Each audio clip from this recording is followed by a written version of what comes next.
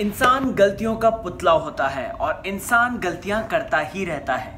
अपने फिल्मी करियर की बात करें तो एक्टर्स अलग अलग फ़िल्में पकड़ते हैं अलग अलग फ़िल्में छोड़ देते हैं। कुछ फ़िल्में जो वो छोड़ते हैं, उसके लिए उनको मलाल भी होता है, क्योंकि वो फ़िल्में कहीं ना कहीं सुपर डुपर हिट हो जाती हैं, या फिर वो कैरेक्टर जहन में बस जाता है।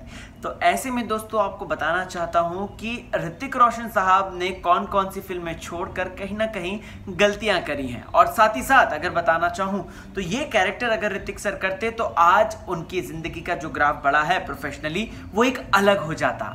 बात करें उन फ़िल्मों के बारे में तो सबसे पहले स्वागत है आप सभी का आपके फेवरेट चैनल में। Hrithik Roshan Greek god acting जिन्हें बहुत अच्छी तरीके से आती है। ऋतिक रोशन सर की बात करूँ दोस्तों तो फ़िल्म में अगर बात करें उनकी तो उनकी धमाकेदार एंट्री होती है कहो ना प्यार है से।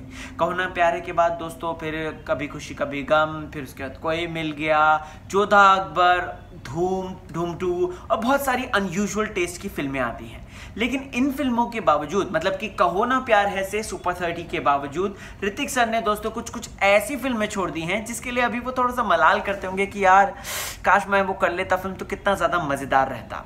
चलिए, बात करते हैं। सबसे पहले दोस्तों, मैं थोड़ा सा पास्ट में जाना चाहूँगा और लेकर आता हूँ कि ऋतिक सर ने कौन सी फ़िल्म छोड़ी तो वो है पहली फ़िल्म जिसके बारे में बात करना चाहता हूँ, वो है दिल चाहता है। दिल चाहता है। आमिर खान सर थे इसमें दोस्तों आमिर खान सैफ अली खान और अक्षय खन्ना। इस फ़िल्म को फरहान अख्तर ने बनाया था दोस्तों और ये फ़िल्म दर्शकों के बीच में सुपर हिट हो गई थी। यंगस्टर स्पेशली इससे इंस्पायर्ड हुए थे, गोवा के ट्रिप्स बनने लग गए थे दोस्तों और उसके बाद अगर देखा जाए तो कहीं ना कहीं आमिर खान का वो जो गोटी स्टाइल था, जो कि मैंने भी रखा है, वो भी कॉपी होने लग गया था मतलब कि इंस्पायर्ड होने लग गए थे लोग। तो ऐसे में दोस्तों, अगर मैं बात करूँ तो ऋतिक रोशन को अक्षय खन्ना जी के कैरेक्टर के लिए जो है अप्रोच किया जाता है, उन्हें बोला जाता है, लेकिन ऋतिक रोशन उस वक्त तैयार नहीं थे कि वो सेकेंड लीग परफॉर्म करें, क्योंकि ऑब्वियसली बात है, अगर देखा जाए तो पहले जो मेन लीड थे वो कहीं ना कहीं आमिर खान साहब ही थे। तो ऐसे में उन्हें कहीं ना कहीं ये पसंद नहीं आई स्टोरी और उन्होंने कहा कि मेरे पास अभी वक्त नहीं है। दूसरी जो फ़िल्म मैं बात करना चाहता हूँ दोस्तों, वो मैं हूँ ना कहना चाहता हूँ। मैं हूँ ना फ़िल्म मैं हूँ ना में दोस्तों, शाहरुख खान ने अलग ही जलवा दिखाया था। जायद खान की अगर मैं बात करूँ तो वो शाहरुख खान जी के भाई का, छोटे भाई का कैरेक्टर निभाते हैं। राम और लक्ष्मण की जोड़ी होती है दोस्तों। तो लकी का ये जो कैरेक्टर था, ये ऋतिक रोशन को पहले ऑफ़र किया था फराह खान ने। ऋतिक रोशन को ऑफ़र किया था, लेकिन ऋतिक रोशन ने इसीलिए टाल दिया इस रोल को। उन्होंने बोला कि यार, मैंने ऐसा काम किया है, मैं शाहरुख खान के भाई के रूप में मैं ऑलरेडी आ चुका हूँ, कभी खुशी, कभी गम में। तो ये मेरे लिए कुछ नयापन नहीं है, कुछ अलग नहीं है तो इसलिए मैं इस कैरेक्टर को नहीं करता हूँ। और ऋतिक रोशन ने वो फ़िल्म ड्रॉप कर दी। आगे बढ़ता हूँ दोस्तों तो बात करते हैं, एक फ़िल्म आती है रंग दे बसंती। रंग दे बसंती की जो बात है दोस्तों, वो आज तक हमारे जहन में है। हम सब आज तक उस फ़िल्म को याद रखते हैं और प्लस उसमें जो एक फ्रेशनेस थी, जब भी आप उस फ़िल्म को देखेंगे, वो फ्रेशनेस बरकरार रहेगी। आपकी आँखों से आँसू तो आ ही जाएँगे। राकेश ओम प्रकाश मेहरा इन्होंने ये फ़िल्म बनाई दोस्तों, और राकेश ओम प्रकाश मेहरा ने जो इसमें कुणाल कपूर का कैरेक्टर था, वो ऑफ़र किया था ऋतिक रोशन को। इनफैक्ट, आमिर खान खुद इस स्क्रिप्ट को लेकर ऋतिक रोशन के पास गए थे। लेकिन यहाँ पर ऋतिक रोशन ने बोल दिया कि मैं, आमिर खान जब इसमें मेन लीड है तो मैं यहाँ पर मेन लीड ही करना चाहूँगा। मैं इस तरीके से सेकेंड लीड नहीं कर सकता। और ऋतिक रोशन ने ये फ़िल्म छोड़ दी। वेल दोस्तों, आज तक शायद ऋतिक रोशन इस बात को लेकर पछताते होंगे। कहीं ना कहीं ये सोचते होंगे कि यार, मुझे रंग दे बसंती कर लेनी चाहिए थी, क्योंकि उसमें सारे ही कैरेक्टर दमदार थे। सभी कैरेक्टर ने एक बेहतरीन तरीके से काम किया था और उसके बाद उन सब कैरेक्टर्स की किस्मत एकदम से चमक गई थी। आगे बात करते हैं दोस्तों, जो जो फ़िल्म है वो है आशुतोष गोवारीकर की फ़िल्म स्वदेश। स्वदेश फ़िल्म, अगर आपको याद होगा तो इसमें शाहरुख खान ने ज़बरदस्त अभिनय किया था। लेकिन शाहरुख सर से पहले ये काम दिया गया था ऋतिक रोशन को। ऋतिक रोशन ने फ़िल्म करने से मना कर दिया, उन्हें स्क्रिप्ट पसंद नहीं आई थी और उनके पास डेट्स इशू भी थे। तो जिसके चक्कर में उन्होंने फ़िल्म को रिजेक्ट कर दिया और ये झोली में आ गिरी शाहरुख खान के।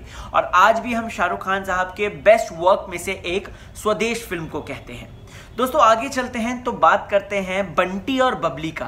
बंटी और बबली, यशराज की तरफ़ से फ़िल्म आती है। शाद अली इस फ़िल्म के डायरेक्टर थे, रानी मुखर्जी, अभिषेक बच्चन इसमें बहुत ही अमेजिंग कैरेक्टर्स में थे। लेकिन आपको बताना चाहूँगा कि अभिषेक बच्चन से पहले ये किरदार ऋतिक रोशन को गया था, और ऋतिक रोशन ने मना कर दिया, क्योंकि उनको थोड़ा सा जचा नहीं। ठग्स पे फ़िल्म है ये, और प्लस कहीं ना कहीं एक अलग तरीके का रिस्क था इस तरीके की फ़िल्मों में काम करने का। तो ऋतिक रोशन ने इसमें काम करने से मना कर दिया। चलिए, ये तो हुई बॉलीवुड की फ़िल्मों की बात, लेकिन ऐसी भी फ़िल्में हैं हॉलीवुड की जो कि ऋतिक रोशन साहब ने छोड़ दी। वो है फास्ट एंड फ्यूरियस अगर सब कुछ सही होता, अगर ऋतिक रोशन हॉलीवुड फ़िल्म में काम करने के लिए हाँ कह देते तो आज हम फास्ट एंड फ्यूरियस सीरीज़ में ऋतिक रोशन को देखते आपको बताना चाहूँगा दोस्तों फास्ट एंड फ्यूरियस के जो मेकर्स थे, उन्होंने ऋतिक रोशन की धूम टू देखी थी।